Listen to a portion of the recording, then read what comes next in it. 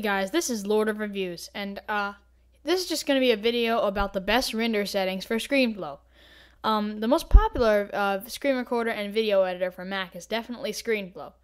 Uh, it's just because it's so fast. It has a very easy to use editor on it, it but it has still has tons of features you can use, and it's just a very all around great program.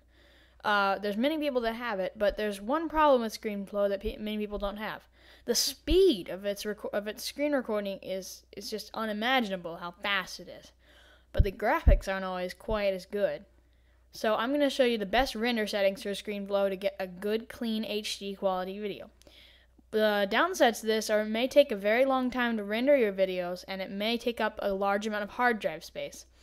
But in exchange for this, you get a very good quality video that a lot of people understand, and it'll probably get more views because it's betterly it's uh, easier to understand.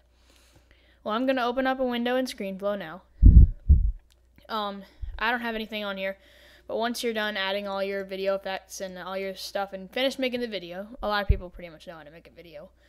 Uh, I'll probably make some ScreenFlow tutorials later, but just go File, Export once you're done, how you would normally export them then name it something like tutorial thingy. You want to name it you know want to name it something that has to do with your video because the metadata will be encrypted into your video on YouTube. And you don't want to name it poop or something like that.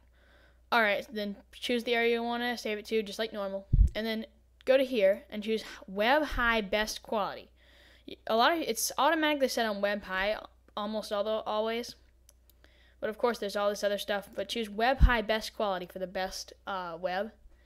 All right, now click Customize, and it comes up with Movie Settings. Check Video Sound and prepare for internet streaming. Then go Settings under Video. Change the compression type to H.264. Just go ahead and click on it again so it resets all settings with H.264. Next, go every 24 frames, current FPS, data rate, automatic, and then the quality of the compressor, change it to best. Then OK. Next, go to filter and make sure it's none. Then go to size and then go dimensions 1280 by 720 HD and then click OK. Next, go to sound settings and make sure it's AAC stereo left right 44.100 kHz. You don't have to press show uh, advanced settings, but you can if you want to.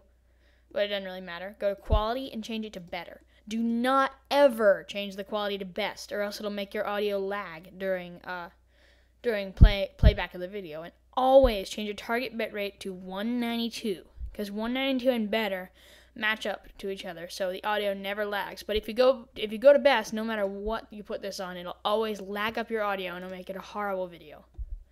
Because this just makes it so it just takes up way too much bandwidth. So just I highly suggest you don't put it on best. Better 192. Okay? Now go prepare for internet streaming and change it to fast start. Now, okay. Now go scale the custom size here in dimensions and type in 1280 tab 720 and don't check letterbox content.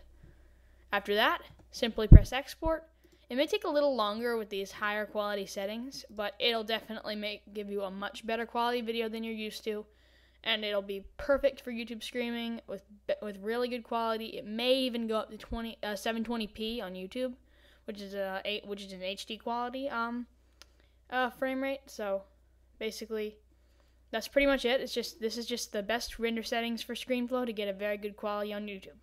All right, this has been a Lord of Reviews tutorial. Bye.